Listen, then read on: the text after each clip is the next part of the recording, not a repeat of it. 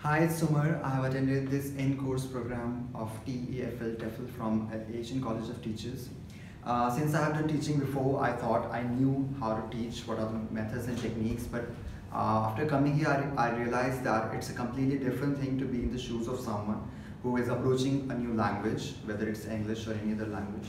So especially English, I learned the methods and techniques to reach out to students. And uh, here in this uh, course, right from the management to the trainers to the supporting staff, everyone has been tremendously cooperative.